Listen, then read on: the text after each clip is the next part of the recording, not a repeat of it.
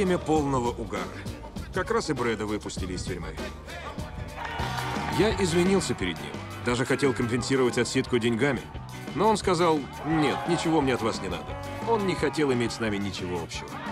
Самое грустное, что через два года он умер. Обширный инфаркт в 35 лет. В том же возрасте умер Моцарт. Ну, не то чтобы между ними было много общего, но... Нет, даже не знаю, чего я это сказал. Очень скоро накатила волна повесток. Предоставить документы, дать показания и прочее-прочее в этом духе. Донни еле успевал выпивать столько воды. Правительство США прислало мне повестку. Вот что мы делаем с повестками в Скрэттон-Окленде.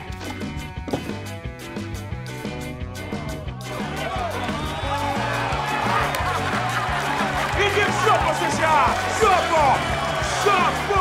Жопу! Жопу!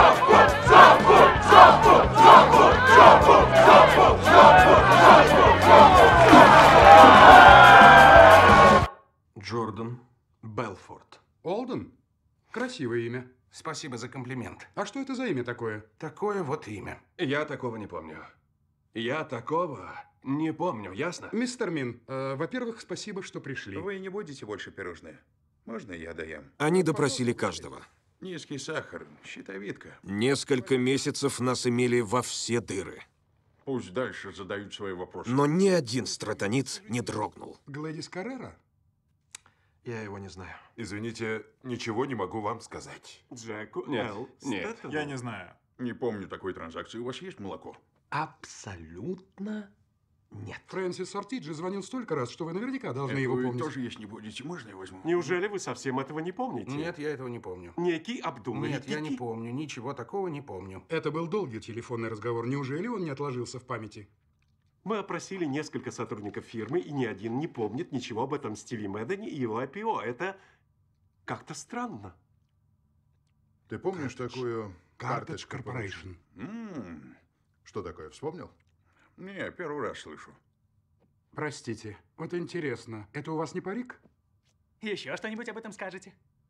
Какие еще будут Я комментарии? просто Вот такой, спросил, значит, просто разговор у нас спросил. будет. Это интимные Просто вопросы. интересно, зачем вы так стрижетесь? Простите, я не помню такой компании.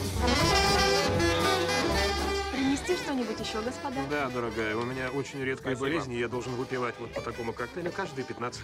Конечно. Нам настоятельно рекомендовали не уезжать из Штатов. И мы с женами махнули в Италию. Мы подумали, что будет проще работать из Европы и отдавать распоряжение Какуну. Зато никто нас не арестует и не докажет, что я управляю Стрэттоном с яхты. Эй, Какун, bonjour, плешивый орел. Как там наши делишки? Донни, слушай, у нас проблема, слышишь? Твой друг Стив Мэдден сбрасывает свои акции. Что ты сказал? С чего ты взял? Я вижу это, Донни! Говорит, что Стив Мэдден сбрасывает акции.